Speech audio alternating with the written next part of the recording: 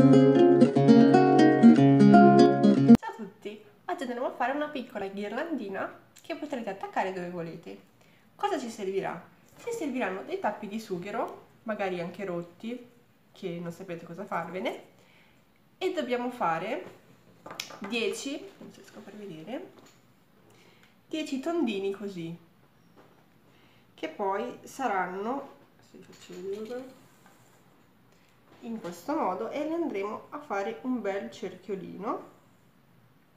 Così. E quindi adesso andiamo a incollare per bene questi cerchiolini che poi ho detto 10 ma potete farlo della grandezza che volete. E quindi adesso andiamo a incollarli.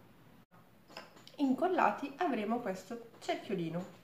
Ora cosa dobbiamo fare? dobbiamo prendere un chiodino questo chiodino scegliamo dove metterlo come vogliamo la nostra ghirlandina e lo spingiamo dentro.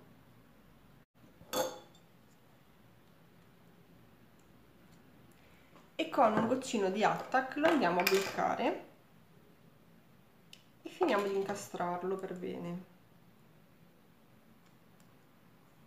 Così.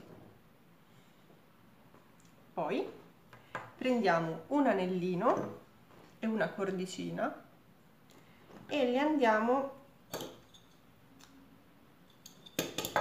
a far passare nella ghirlandina in modo che poi possiamo appenderlo dove vogliamo. Così. Adesso io prendo del colore verde e giallo che ho già messo qui li vado a mischiare in questo modo e vado a picchiettare su tutta la ghirlanda ma poco poco proprio lasciando poco verde e facendo vedere il colore dei tappi di sughero. Così. Guardate che carino.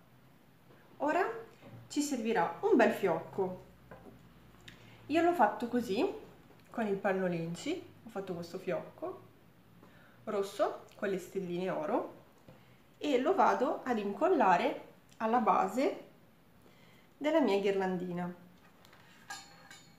Quindi metto la colla e lo metto in fondo.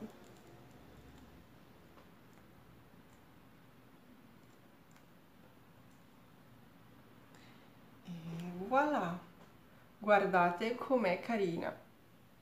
Mi piace davvero tanto ed è super facile da fare. Potete attaccarla sull'alberello potete attaccarla fuori dalla porta. Un po' dove volete l'ho attaccato sulla porta. Ok niente questo è stato un, praticamente un mini tutorial facilissimo. Provate a farlo anche voi provate a mandarmi anche qualche foto così vedo come vi è uscito.